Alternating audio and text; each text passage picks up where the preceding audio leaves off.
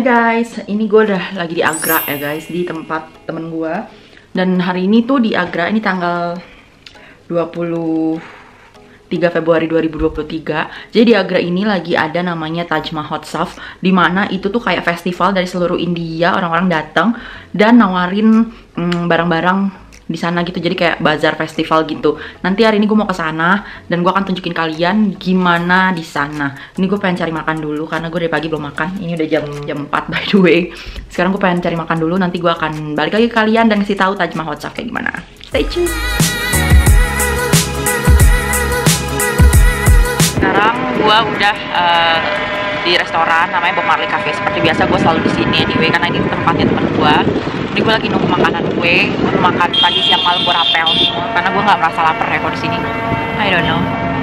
Sekarang ini tadi gue udah pesen butter chicken sama butter naan. Nanti gue akan makan abis itu ntar jam tujuan baru kita ke Taj Mahal so nanti gue update ini makan yang gue pesan ada butter chicken sama butter sekarang kita makan aja karena gue udah lapar banget. Gue udah selesai numpang makannya ya kan? Sekarang gue mau ke Taj Mahal itu ada di sini mari kita ke sana. Ini udah maghrib.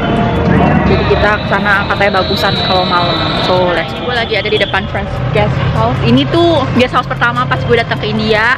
Bareng teman-teman gue gue nginep di sini. Rame-rame cewek-cewek semua. Dan gara-gara gue nginep di sini akhirnya gue ketemu sama partner bisnis gue no si Yusuf jadi kalau kalian mau nginep di Agra kalian ke sini aja guys murah itu pak itu uh, Bang BT cuma kayak 80 ribuan, 90 ribuan gitu. Terus tadi tuh di sana itu tadi aku makan di situ tuh. Ini tempatnya sih. Mahal. Nah, ini tiket buat ke pasar malam nih. VIP pas anjay VIP. Sekarang kita ke Taj Mahal. Gue merasa kayak lagi di Monas anjay. Nah jadi tuh ini gue jalan kaki dari tempat tadi gue makan sampai ke sini. Ini tuh kayak dekat banget gitu, tinggal jalan aja terus nyampe kayak 5 menit 10 menitan. Biasanya ini tempat nunggu mobil golf car kalau kita mau ke Taj Mahal guys. Nah ini kita sekarang sudah ada di dalam uh, Taj Mahal Saf. Jadi di sini kayak macem-macem yang dijual dari seluruh India ada di sini. Ini dapat Taj Mahal.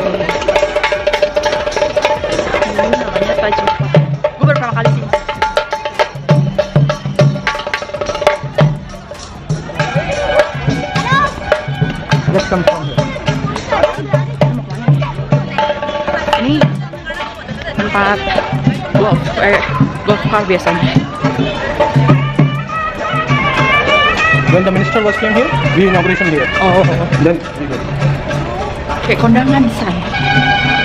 Pas sampai dalam ternyata ini banyak banget yang jualan kayak bener-bener murah banget. Ini tuh local price guys. Jadi tuh kalian bukan turis price di sini bener-bener local price yang mulai dari 100 rupiah gitu loh. Ini yang doyan belanja murah pasti demen sih sini. 200 rupiah 300 ada yang 100 murah-murah guys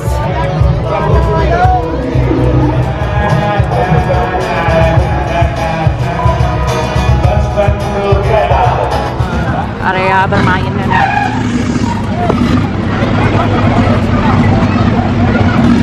people. Ah.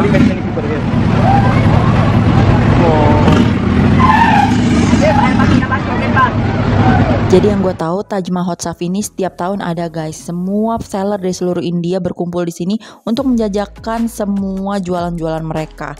Jadi tiap tahun itu ada di sini. Jadi kalau kalian mau cek tahun-tahun berikutnya silakan aja. Kalau tahun 2023 ini dia cuma sampai tanggal 1 Maret 2023 ya. eh Andi Hai Di sini food courtnya juga oke banget, dia banyak banget pilihannya. Ada dari Western, Indian, of course. Terus juga banyak minuman-minuman. Kalian wajib kesini dan mencoba makanan-makanannya. ओले ओले गाड़ी ब्रेक कर देख के चलाना उन्हें उन्हें वो करी हम तो तो कर चुल्लो Rajni fan Oke guys, sekarang gua lagi ada di Taj Mahal Saf. Ini gua lagi um, berhenti makan-makan gitu di Wahid Biryani. Di sini tuh kayak hmm, pasar malam aja gitu. Isinya bener-bener murah-murah kayak baju ada yang 20 ribu 30 ribuan. Terus kayak ada anting-anting karpet terus juga kayak peralatan rumah tangga eh, makanan-makanan and then juga ada sendal-sendal tas. Pokoknya hampir semuanya perintilan tuh ada di sini. Eh, bahkan kayak bangku-bangku kayu itu juga ada. Tadi gue udah liatin ke kalian. Untuk harganya beneran murah-murah banget di sini. Terus eh, tadi tiket masuknya ada cuma gue nggak tahu bayar berapa karena nggak tahu gue gratis gitu. I don't know how terus kayaknya 50 rupiah deh kayak 10 ribuan. Di sini tuh banyak orang lokal makanya kenapa? Di sini tuh harganya harga lokal gitu guys bukan harga turis. Jadi kok kalian mau ke sini ke sini aja sebelum 1 Maret karena murah-murah. Gitu. Gue lagi nggak nafsu buat jajan-jajan apa belanja gitu ya. Jadi gue kayak oh oke oke oke gitu gitu doang. So far oke sih untuk kalian nyari barang-barang murah barang-barang India murah. Dress-dressnya tadi gue juga lihat kayak 200 rupiah 300 rupiah 350 rupiah gitu. Nggak ada yang mahal sumpah. Di sini nggak ada yang mahal sama sekali. Kalian wajib ke sini Nah kalau ini sebelum keluar gue nggak sengaja ngelihat kayak pameran lokomotif gitu. Jadi lokomotif India dari tahun-tahun zaman dulu sampai dengan sekarang. Seru sih.